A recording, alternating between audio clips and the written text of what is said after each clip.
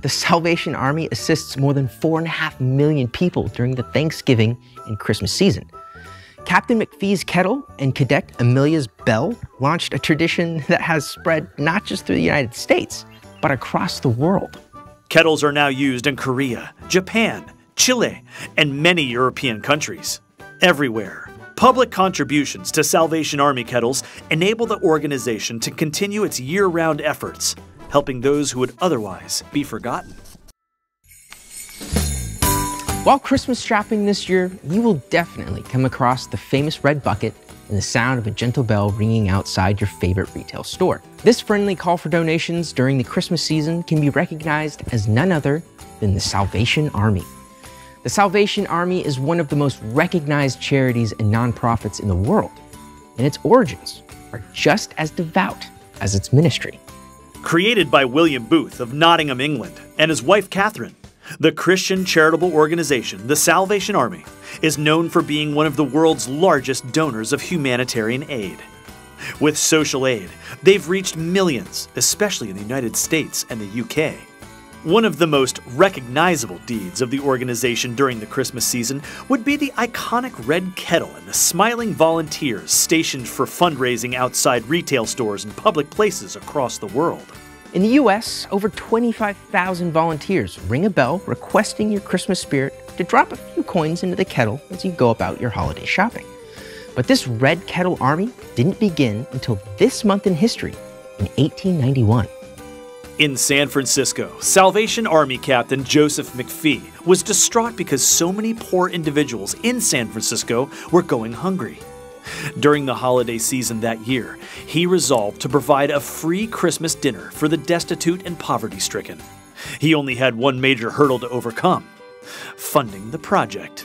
As McFee lay awake at night, he worried and prayed about how he would be able to find the funds to fulfill his commitment of feeding 1,000 of the city's poorest individuals on Christmas. As McFee pondered the issue, he thought back to his sailor days in Liverpool he remembered seeing a large black iron kettle set up on the dock, into which passerbys tossed a coin or two to help the poor. The idea struck him. Would it work in San Francisco? Would the public be just as kind as the sailors in Liverpool? The next day, Captain McFee went down to Oakland Ferry Landing at the foot of Market Street. He secured permission from the authorities to place a large iron cooking pot at the Oakland Ferry Landing. He found a way to secure the pot so that it was hanging in a conspicuous position so that all those going to and from the ferry boats would see it. Beside the pot, he placed a sign that read, Keep the pot boiling. McFee stood by and encouraged passersby to drop coins in the pot to help the poor. That day, to his surprise, hundreds of people passed the pot and donated a little bit of money each. As the pot filled, so did the faith of McFee. Soon, he had enough money to feed the needy people of San Francisco at Christmas. The story of McFee's fundraising success spread throughout the Salvation Army. And six years later, the Red Kettle idea swept the country from San Francisco to Boston. In 1897, the combined nationwide effort resulted in 150,000 Christmas dinners for the needy. But it wasn't until the turn of the century that the Army introduced the iconic sound that would go alongside the Red Kettle.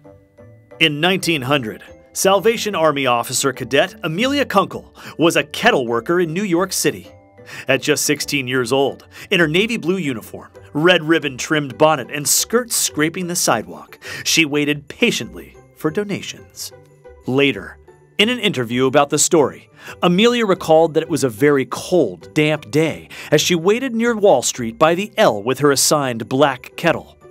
She said the L brought droves of businessmen to and from the financial district. Some contributed to the Salvation Army kettle, most just passed by. In those days, the average donation was small just a nickel or a dime, sometimes a quarter, occasionally a dollar. In 1900, a good afternoon would bring in donations totaling $18. Amelia said, Most days, I was disappointed that people ignored me and my kettle. As the story goes, one day, Amelia complained to her supervisor, Major Chadwell, an administrator. Amelia felt that just standing there wasn't garnering enough donations. So Major Chadwell suggested Amelia do something. His first suggestion was that she find a stick and bang on the kettle to draw attention. Amelia didn't like that idea. When she said no, he replied, Well then, Cadet Kunkel, you'll certainly solve that problem all by yourself before long. The next day, Amelia was shopping in a nearby Woolworth's five and dime store. She found just what she was looking for a little bell. As she picked it up, the little bell gave a little jingle. She bought the bell for just 10 cents. That day, Amelia rang the bell by her kettle, and more people stopped. She greeted each contribution with a cheery, God bless you, and Merry Christmas, and it changed the Salvation Army forever. Her idea spread like wildfire. Soon, cadets around the country were ringing bells, raising funds for the Salvation Army's Christmas dinner.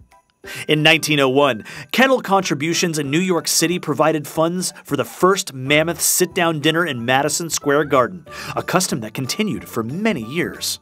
Today in the US, the Salvation Army assists more than 4.5 million people during the Thanksgiving and Christmas season.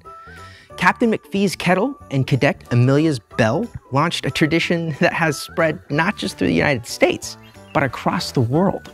Kettles are now used in Korea, Japan, Chile, and many European countries.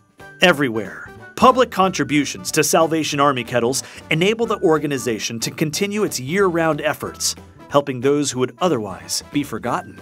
In its milestone 125th year, the Red Kettle campaign set a new national fundraising record. Some 25,000 bell ringers raised $149.6 million for the campaign, with all money going to work directly in the community where it was raised. This month, bell ringers of all ages and backgrounds will continue to brave the cold and the crowds at Christmas time, united in their resolve to raise money and help the less fortunate.